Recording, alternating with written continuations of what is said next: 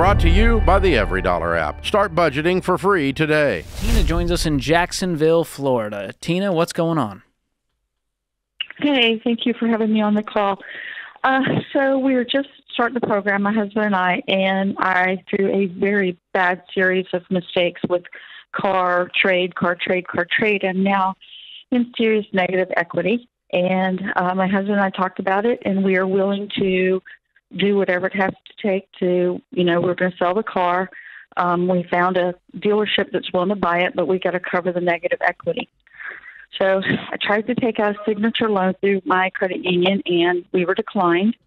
So now it's like, what do I do? What's my next step? Do I try to divvy it up amongst credit cards? Do I just bite the bullet and pay off this car? Do I try and take a home equity loan? Where do I where do I go? Well, any option that involves moving the debt to other debt, I, I hate that I have to tell you this, is not going to solve your problem. Think about it like this: you have a bullet wound in one in your foot. Shooting any other part of your body will not fix that bullet wound in your foot. Is So- co- you got it. So here's the here's the options you have that don't involve debt. Number one is you guys save up the difference that you owe and then sell it so you can cover the full amount that's owed. Or uh, you said you got declined at that credit union. Have you tried others? Did they tell you the reason? Is it due to your credit score? Credit score. Okay, so your credit score is shot because of was there delinquent payments? Uh, no, uh, overutilization. Okay. We, with our house and all of our credit, we're about half a million in debt. Oh my goodness. How much consumer Yeah, debt do you guys have? Serious. I'm sorry. How much consumer debt do you have outside of the mortgage? Uh, we have 127 in credit card. 127 in credit cards. Yeah, 127,000 in credit cards. What did you put Um, on these cards? Um, stuff for the house, helping out our kids, um, vacations that we shouldn't have gone on. What's Just the interest rate on these? of- um, the majority of them, you know, they vary between 12 and 18 percent. What What about this And then- situation? I, I'm I'm asking you this not to beat you up, but I I, I really want to know No. where your where your psychology is. You're half a million dollars in debt.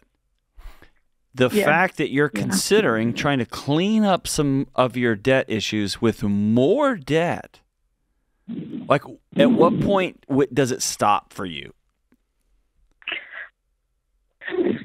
It has to stop Right. because um, we want to retire in five years, and we know it's not possible Right. if we don't change. And so I'm willing to, you know, do whatever it takes. What's your had- household you know, income? I had listened to a couple of the shows, um, and you know, um, Dave had said take out a personal loan to pay off the equity, sell that car, get a beater car, you know, lower your debt, total debt. So that's what I thought we could do, but it doesn't seem like. And I don't trust my own decisions clearly Sure. because if I did, I wouldn't be here. So what is your household income? Uh, monthly, we bring we bring in monthly. We bring in about thirteen thousand. Okay, good. And what is your total minimum payments on all of the debt that you have, the consumer debt? total minimum payment is monthly. Um, I'm gonna go grab it. Um, about forty seven hundred. Okay. Are you able to put an extra thousand, two thousand, three thousand, four thousand on top of that to pay it off? Oh, that's what we were gonna do. You know, starting with the the smallest first. Good. Um, but considering I owe almost eighty thousand on this car, we thought we could get out of you know get rid of it, and that would take a huge chunk out. How much upside down are you? About twenty two thousand. And are you sure of that? Because you said the dealership said they'd buy it for this amount. Well, the dealership's going to lowball you comparatively to a private party sale. So I haven't tried private party. Um, the car, the balance we owe is about eighty thousand, and when I go through Kelley Blue Book, um, it's between fifty-five and sixty is the value, and the car dealership is offering us fifty-eight because it's a, a twenty twenty-three with really low miles on it.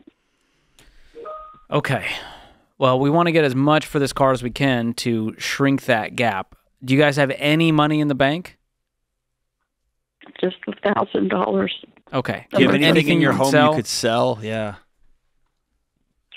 Um, we thought about that. You know, like I said, we're just getting started, and we can start, you know, like selling off. And What's I the just house started worth? making my list of things that I could get rid of. I'm talking tools, guitars, motorcycles, You guys sound like you bought some stuff with those credit cards. jet skis, everything.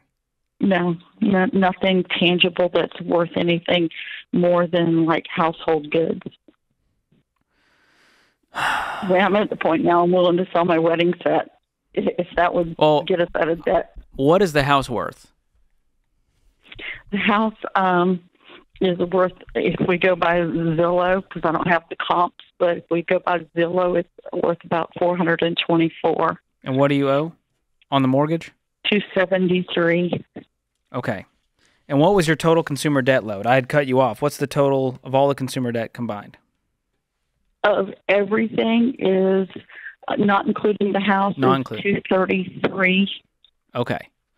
This might be the car and student loans and credit cards. this might be one of those situations where you make the ultimate sacrifice of selling the house, you'll clear about 150, maybe 130 after fees, and that gets you down to a 100,000 in debt. But also, Which can get you out of this. 20,000 of that, you sell that car, and that knocks off another 80 off the total. And what happens then is you're going to have to rent for a while. It may be a long time. How but old are you? At least hon? you can get out of this. Um, fifty-nine. Okay. It um when my mom went back to school, she got her tenure professor job at the age of 57. She just retired in her mid 70s. That may that not it's not May, that's 100% what you're looking at, okay? You're going to have to go find a job and y'all just going to have to work and scratch and claw, consider selling the house. Even if it's just let's sprint and get this 20,000 bucks to get rid of this car. Let's just do that. Let's go ahead and list it private sale just to see what happens too. I there's something the fact that a dealership would offer you more than Kelley Blue Book doesn't doesn't register with me, but I don't know enough about the car or anything like that. It doesn't sound right, but maybe maybe. Um and then you and your husband have to decide are we going to get one, two, or three, or four jobs? Do we want this? No. I don't see a picture where y'all retire in five years. I just don't. And so I think the quicker No, you can you can grieve that and say we wanted this to be the case, but it's not going to be. Let's shoot for 75 instead of 65. Um, then you're gonna it's gonna give you a little gas in the, in the tank. And y'all just gotta knock this thing out fa- like item by item by item. It will not be how you drew it up, and you have to, you have to commit to taking debt off the table. It can never be an option for you ever, ever, ever. Agreed. I'm so sorry. Agreed. I'm sorry So, you got to so learn sorry. this lesson this way, Tina.